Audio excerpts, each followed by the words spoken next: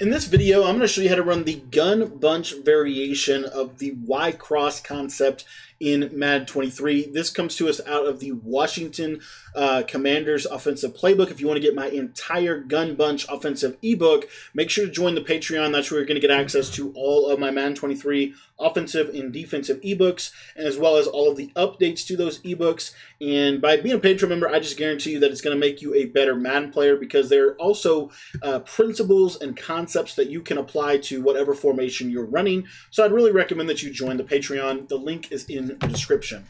We're going to be taking a look here at Washington Bunch, and I'm going to be talking about the Y cross concept. I think that the Y cross concept is a super practically and very just quintessential passing concept that every offense needs to have. And the way we're going to set this play up is we're going to utilize the play gun bunch verticals, right? Gun bunch verticals one of the best plays year in and year out. And I'm going to show you how to make this a really good Y cross style um, of passing concept. So what we're going to do with this play here is we are going to, uh, we have this really nice crosser, crosser to our slot receiver. What we want to do is we want to streak our solo receiver. We're going to take our outside receiver in the bunch and we're going to put him on a post that you can have in slot apprentice or you can put him on a smart routed in. Okay, so put him on a post or a smart routed in route. And then we're going to take our tight end and we are going to put him on a out route. And then what I like to do with the running back is also put him on an out route. So we're attacking the flats on both sides of the field.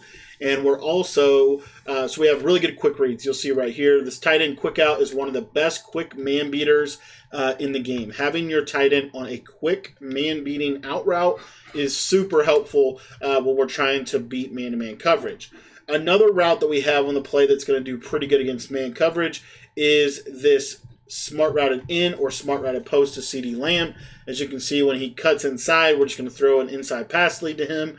And generally speaking, this route is going to be fairly effective for beating man to man. Now, another route that you have is this crosser, as you can see right there to Calvin Johnson. And if you have the route tech ability on him, it is going to make this route really good. I'm also going to show you in just a second another setup you can use if you want to block your running back.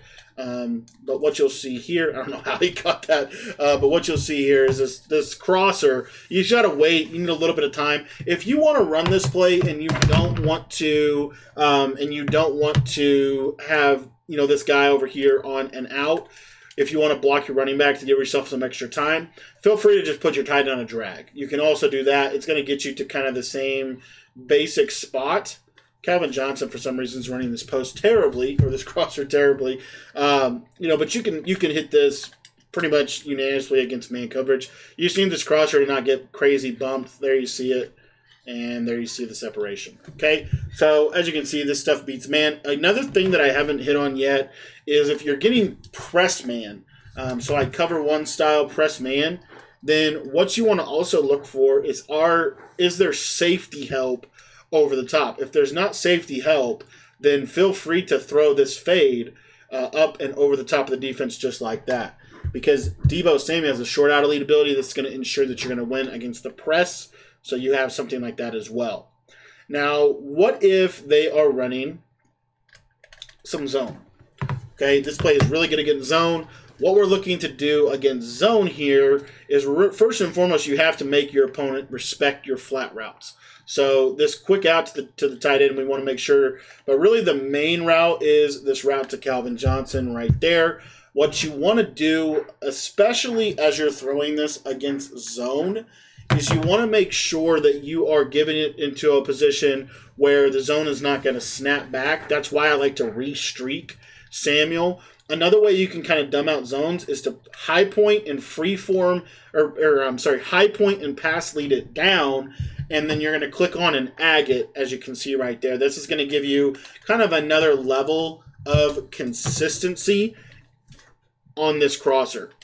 So you're going to have what a lot more consistency if you just high point it right when he gets separation, right in that little pocket, high point it, boom. You see I can get it kind of in the soft spots of the zone defense.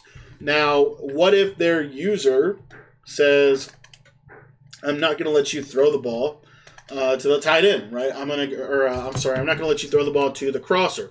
if they're not going to let you throw the ball to the crosser, then what you want to do is this is where this post route is really helpful. High ball, click on, you make that catch right in that soft spot of that zone. You can see how valuable uh, that route is. So you're able to beat really any zone. And the other thing that I haven't shown you yet is this crossing route also gets over the top of 30 yard clouds. So even if they're double flatting, this crosser runs so deep against zone that you know it can you can put the ball where only your receiver can catch it right in that little soft spot right there. So this play is really good against man coverage, really good against zone coverage. It's one of the many reasons why the bunch offense is so good. And if you want to learn my entire gun bunch scheme, make sure that you join the Patreon. The link is down in the description below. For just $10, you'll get access to everything. So head down to the description and go check out the Patreon.